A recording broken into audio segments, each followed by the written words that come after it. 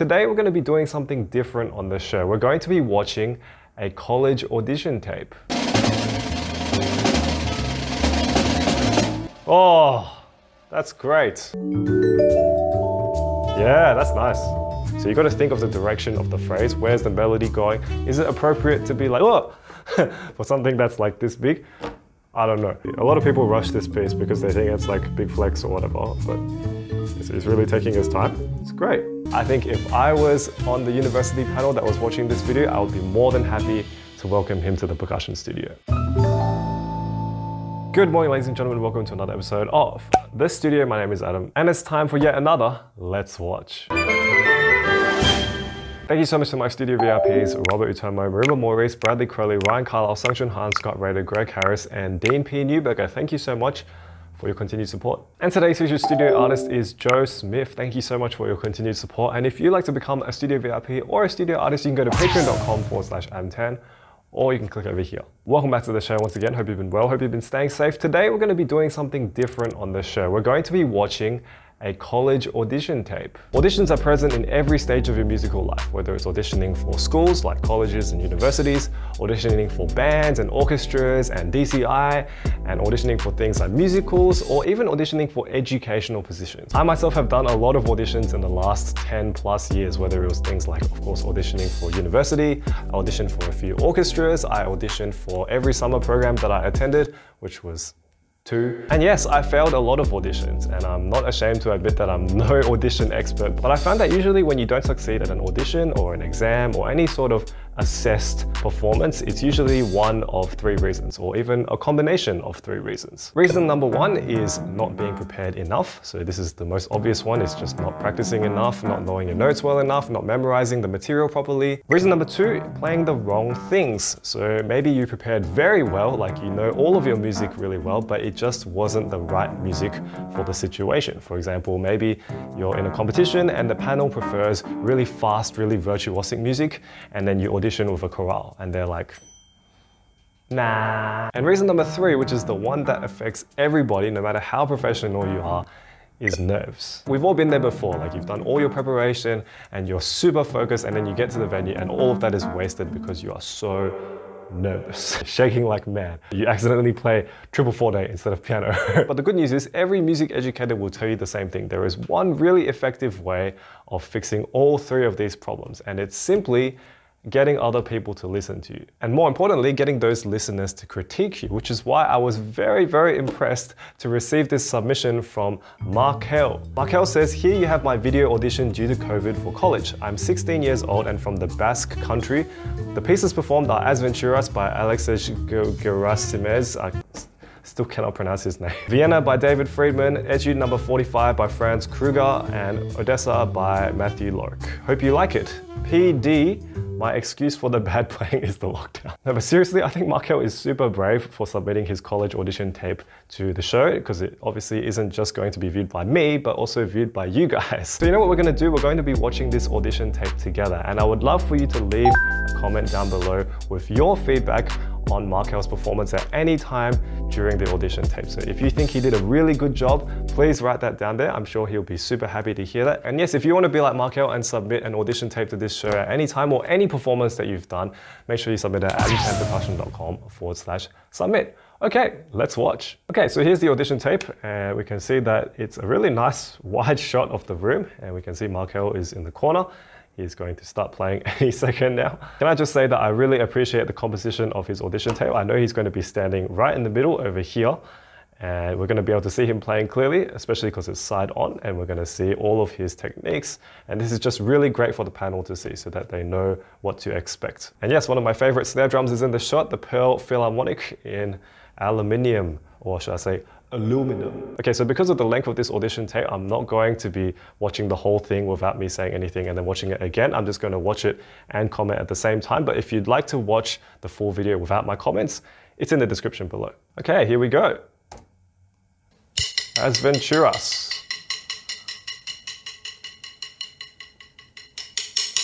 This is a really good piece, you know, it really changed the way people perform solo.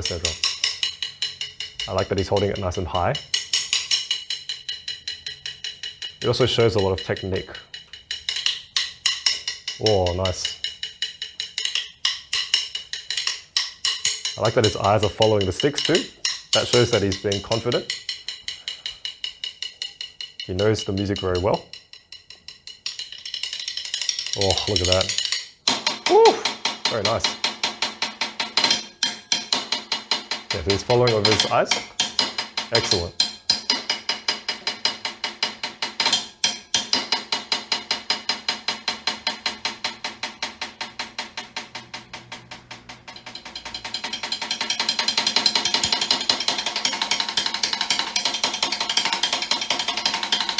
Oh, look at that wrist technique. Woo!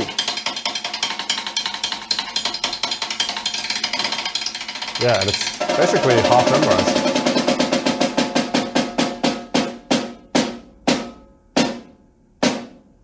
Okay, hold on a sec. So you can see he's paying a lot of attention to the visuals. He's taking his time to draw the sticks up to the same height.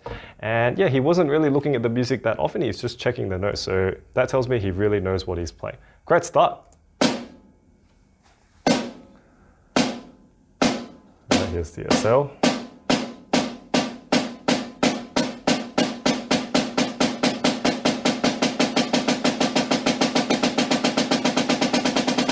Really nice double stroke roll, really controlled. Look at that.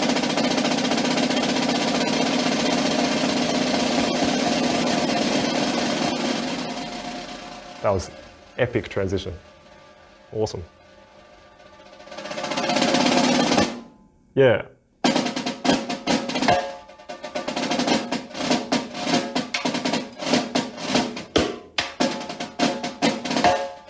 Oh, nice rim shot.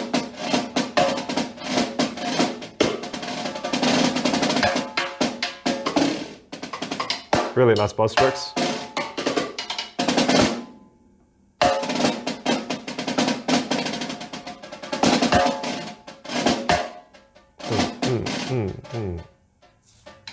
Okay, good.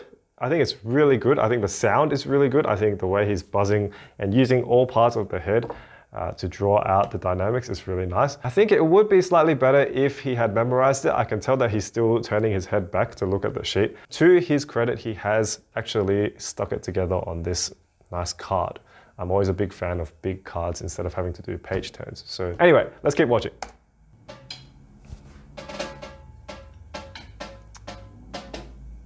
Really good soft playing.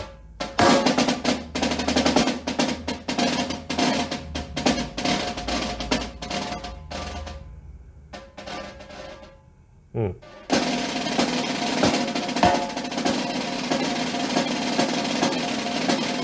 I can really hear the accents very clearly, that's good. Nice clean switch off. Here we go.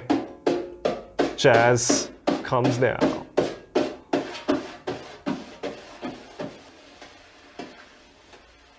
Really like his conviction. He's not half-hearting any of these moves, which is good. Wow, look at that confidence. One of my favorite parts of this piece is this. Hey!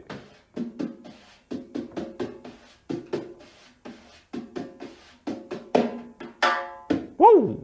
Nice rim shots. Good hand technique. Again, I, I kind of wish that he wasn't looking at the sheet. That would make me believe in the performance a bit more, but it's still very good.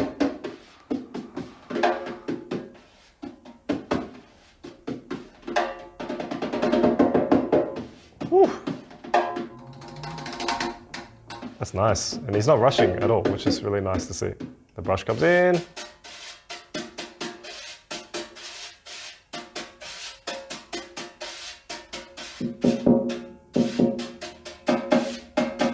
think that was a mistake, but that's okay. He's playing it off really cool, which I really love. Whew.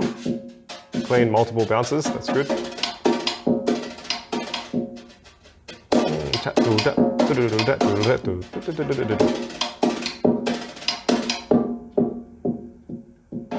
Good. Good changeovers.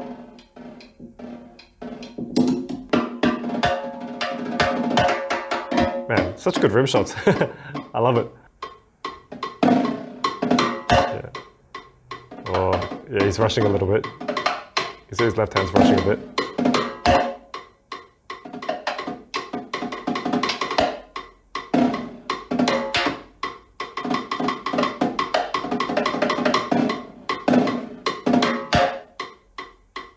really nice sounds though. Like all the all the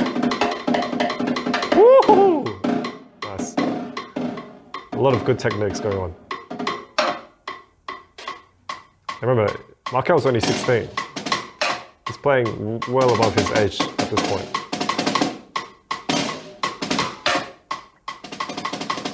Oh yeah.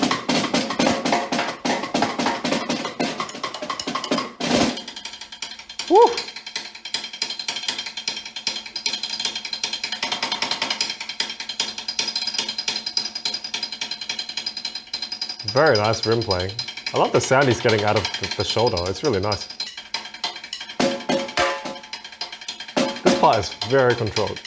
He's not rushing this part at all. Very nice. Right in the pocket.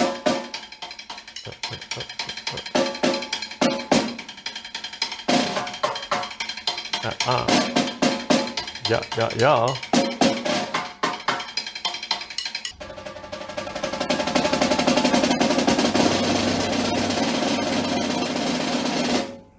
Mm, good start for the buzz roll.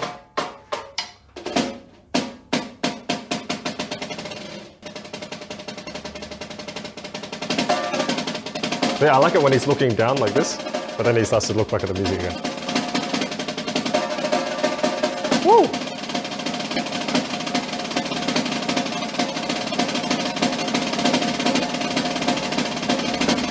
Very nice double stroke, man.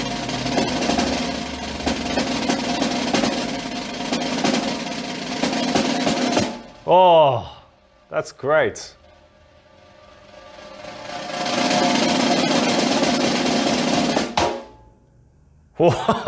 yes, with the slow rise up. That was awesome. And he held it for a long time too. He didn't just he didn't just cut it off and then walk away. He held it and he put it down slowly and then he was like, okay, now I'm done. And he's really taking his time. That's really like mature performance skills. I really like that. All right, so this is going to be Vienna by David Friedman. Now, again, I'm not a vibes expert. In fact, I'm not a snare expert either, but we'll do our best.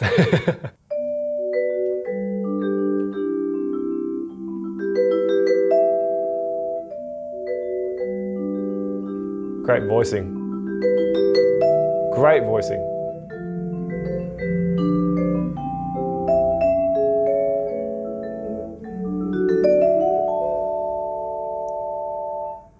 Good pedaling too. Nice mallet dampening.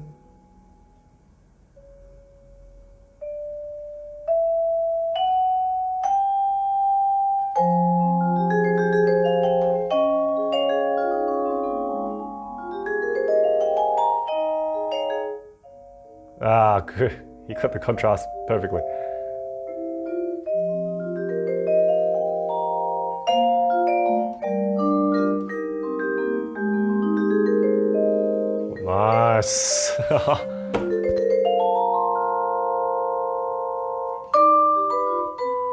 Coming in suddenly with the dissonance. Ah, I could have cut that off a bit cleaner, but still okay. Oh, careful. Yeah, I think he's hitting it a little bit too hard sometimes, but see parts like this, very good.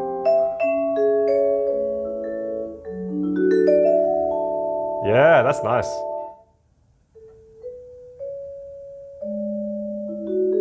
He actually like subconsciously tilts the mallet too to like play softer, which is really nice. Really mature. Oh, really nice. Mm, that was interesting note.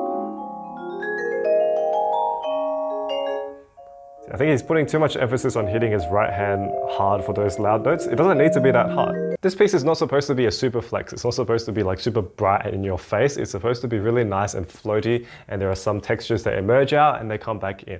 And he does a really good job of that when the dynamics are in the moderate level to the soft level, but when he gets to the loud part, I think sometimes, in my opinion, he's getting a little bit too hard with the right hand.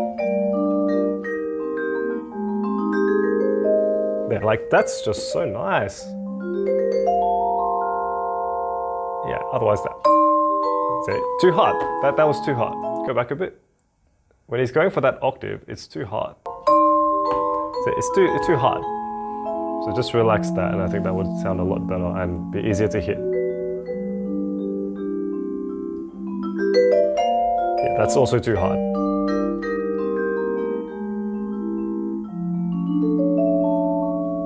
That's nice. That's good. Really good play there. I like that air stroke. That was that was a nice touch. Good dampening. Nice one-handed roll. And beautiful finish. Oh, with the nice upstroke. Slow upstroke and he's down.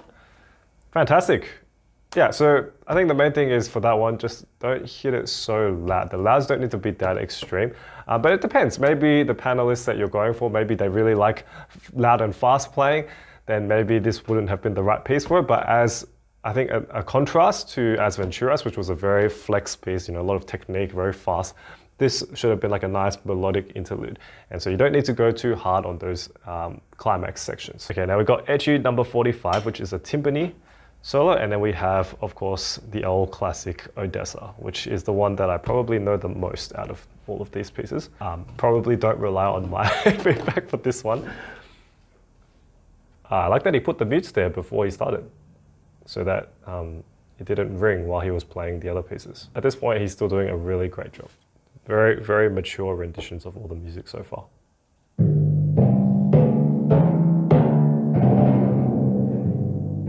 I have heard this piece before. I've actually played this piece before.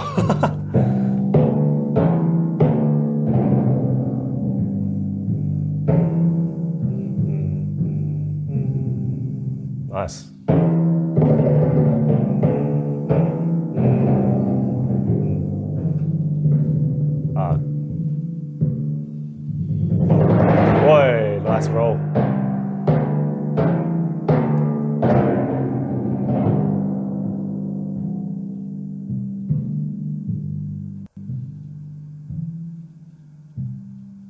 Oh, really nice finish.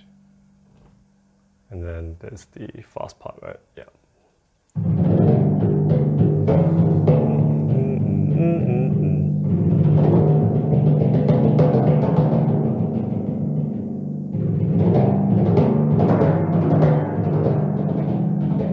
Nice crossovers.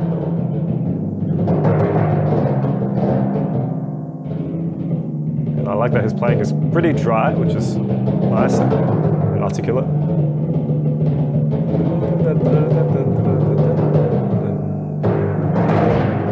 Wow. He's got great stick technique.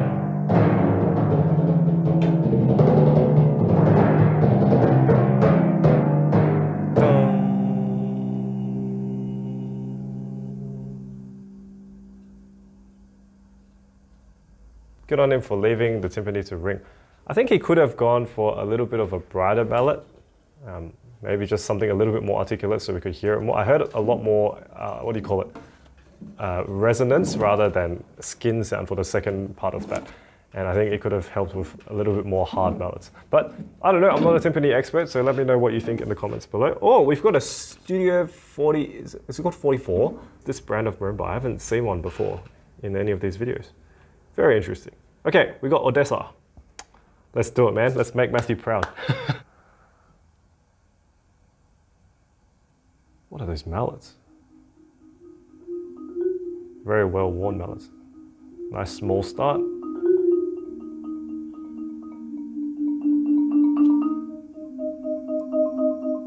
Not too fast, which is good.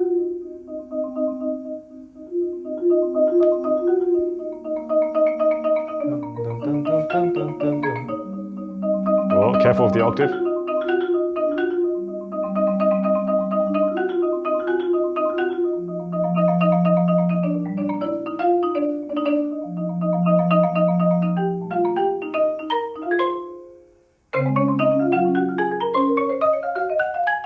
Ah, nice, really accurate.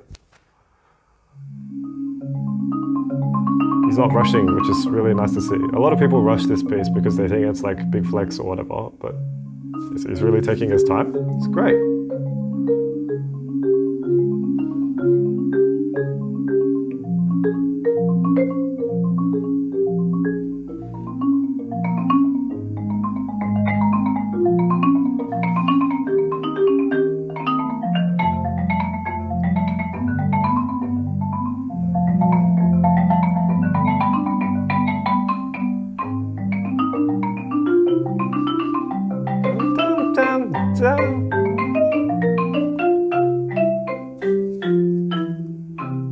Are a little bit on the hard side, especially those top yellow ones. We're really hearing like a very big sound. I personally think it's a little bit too bright.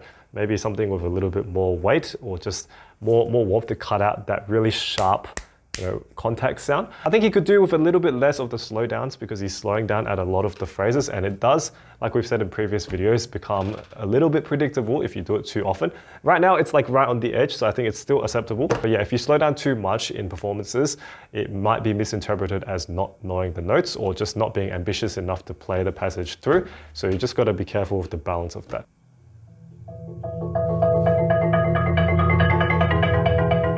So when you have hard balance like that in the lower register, it makes it very different sounding.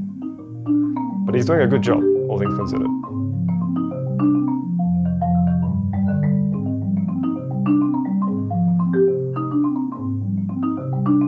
And his laterals look really nice and even and, and smooth.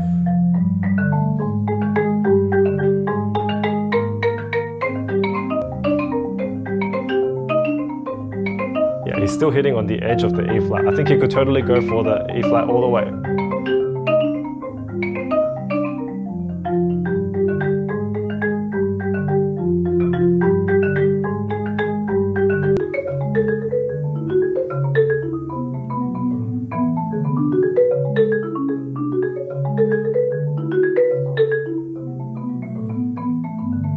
There's a little bit of wrong notes there, but it's, it's all Okay, okay, again, so same thing like what we said with Vienna. There's no need for it to be so hard there. I don't think so. Like we haven't even reached the climax yet and it's already like da da da da. It's very sudden. Um, so I think maybe just go easy on those those octaves. Like, yeah, we know octaves are exciting, but there's no need to play them like super loud each time. Um, because what you're doing with the soft ones is really, really nice. Okay, let's keep watching. Triple laterals.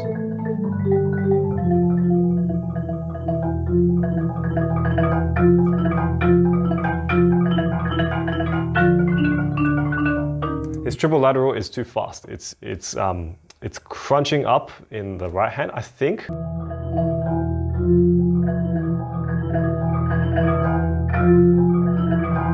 Maybe I'm wrong, but I think the right hand is crunching up too much and it's ending just before it's supposed to.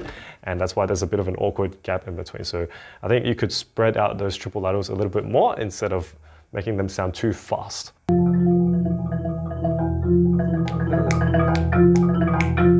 You see how they're ending just a little bit too early? And he's having to cut each beat short.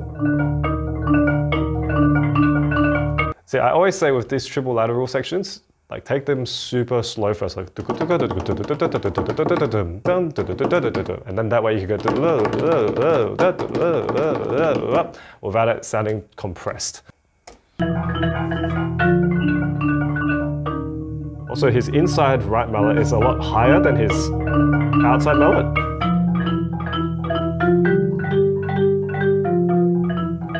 So even these one, two, three, fours, they're too compressed.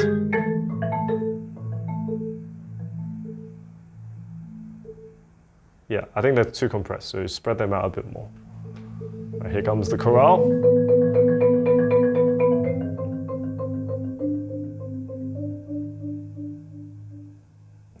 The reason why he's rolling so slow is because the mallets are so hard. more, more, more, more, more, more, more, more, more. Yeah, so yeah, if you use like heavier mallets that are a little bit softer, you'll be able to roll faster and then you'll be able to get more of that deep resonant chorale sound that I think is needed in this section to give that like, you know, warmth to it.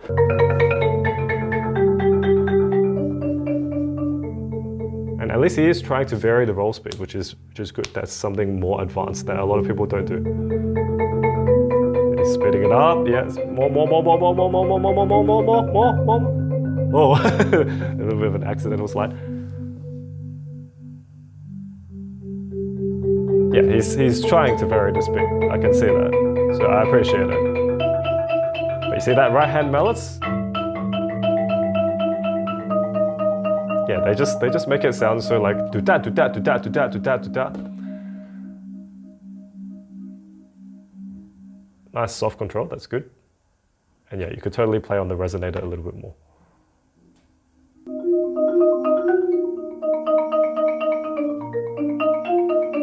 It's good pace though, good pace, good tempo. Yeah.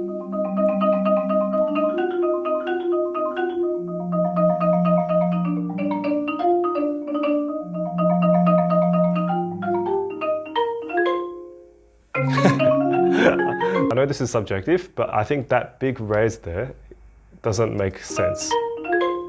This one, it doesn't make sense for it to be there because it's not the end of the passage. It's not a section where there's like suddenly a big change afterwards.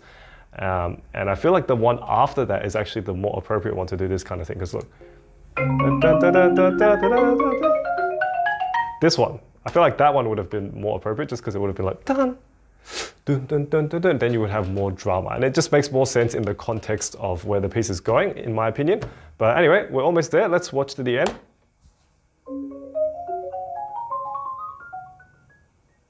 That's really nice. nice little touch. Uh, but actually, I just noticed when he started that run, like that that upstroke, that sudden jerky upstroke for such a tiny note, again, doesn't make sense, right? So try to reduce the big upstrokes because I used to do that a lot. I used to play big floaty upstrokes for every single note and it, it doesn't make sense in a lot of contexts. So you got to think of the direction of the phrase. Where's the melody going? Is it appropriate to be like, oh, for something that's like this big? I don't know. Um, but yeah, let's watch to the end. Here we go, big flex.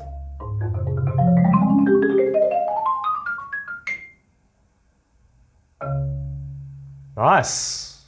That is a really solid audition, if I'm being honest. It's a very solid audition. If I had to give it out of 10, I'd say it's a healthy 8 out of 10 for an audition where he's 16 years old and he's auditioning for college or university.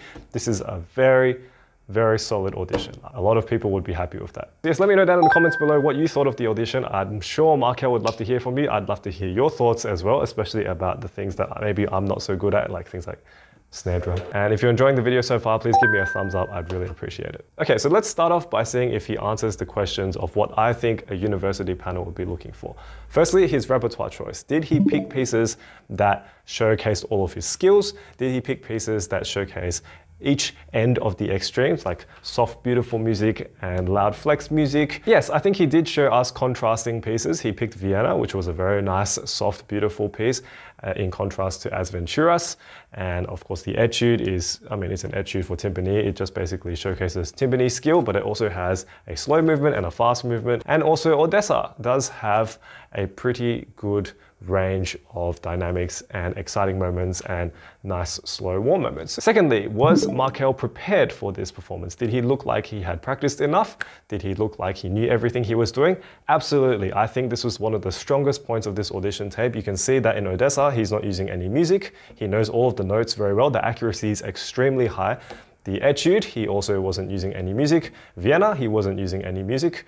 And as Venturas, yes, he did use music, but he didn't look like he needed to rely on it too much. I would have liked if Asventuras was memorized, but it is a very long piece and it is very difficult. Now, did he know the pieces all the way to the molecular level? Well, I think for this college audition, he doesn't necessarily need to know it to like the competition level, which is where they nitpick every little detail. I think here they're looking for a more general picture. So I think for the purposes of this audition, it was totally fine. I think the amount of maturity that he showed, as I mentioned before, really shows that he's keen to learn and that he has a lot of potential. He's playing with all these advanced techniques that are peppered in throughout the more basic techniques, things like those upstrokes, things like, you know, following the stick of his eye, like real performer sense. And that's something that a lot of people don't develop until they're well past 18 years old. And Markel is 16. So I think if I was on the university panel that was watching this video, I would be more than happy to welcome him to the percussion studio. But yeah, if you enjoyed today's video, please give me a thumbs up. And if you'd like to see more videos like this, let me know down in the comments below. More videos where we watch auditions together. And if you haven't already, hit that red subscribe button below to keep up with my uploads as I upload every single week. And make sure you hit that notification bell to know whenever I upload a new episode. Thank you so much for watching today's video and I'll see you guys next week for another episode of The Studio. Good night.